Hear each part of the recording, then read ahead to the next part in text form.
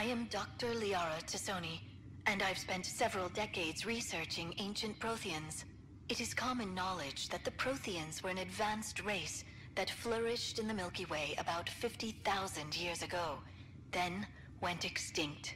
Even at the time of this writing, the year 2182, their culture remains a mystery. During my studies, I have developed some practices that can be used when analyzing any ancient culture.